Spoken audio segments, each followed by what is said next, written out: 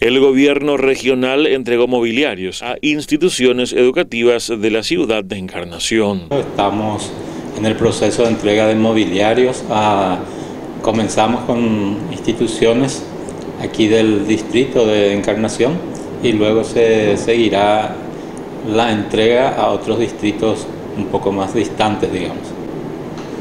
¿Cómo se da eso, licenciado, la selección, digamos, para las escuelas para que puedan contar con esos mobiliarios?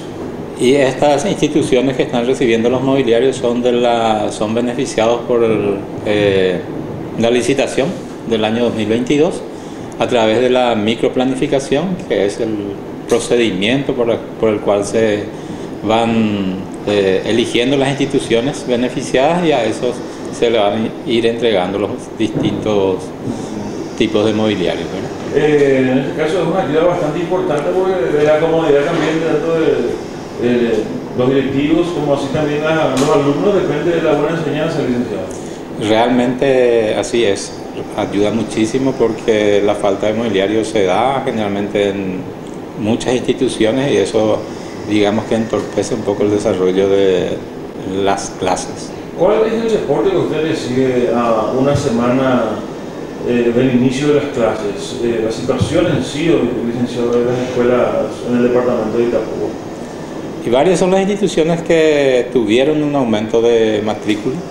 Entonces en esas instituciones de repente son los que más hace falta la entrega de mobiliarios. Pero eh, varía mucho, ¿verdad? Depende mucho la matrícula. Nosotros habíamos recibido el informe del año 2022 a través del RUE, del Registro Único del Estudiante, y estos muebles que estamos haciendo entrega ya estaban, como le dije, eh, planificados la entrega a través de la licitación que habían eh, sido beneficiadas estas instituciones. Entonces se van entregando en base a ese procedimiento.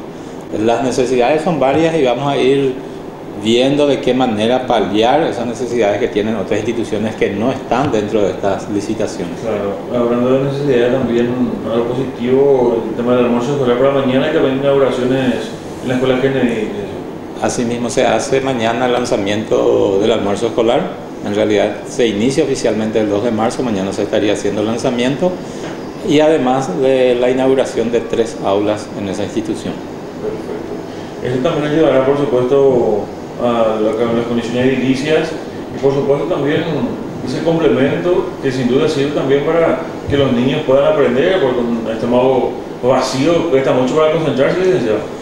Y el almuerzo escolar es uno de los pilares, digamos así, para fortalecer un poco la enseñanza de nuestros estudiantes, porque eso ayuda muchísimo a que los niños concurran a las instituciones educativas eh, que le dé más fortaleza también, así como vos estás mencionando, realmente eh, un sustento importante que ayuda a nuestros estudiantes. En total fueron cinco las instituciones que fueron beneficiadas.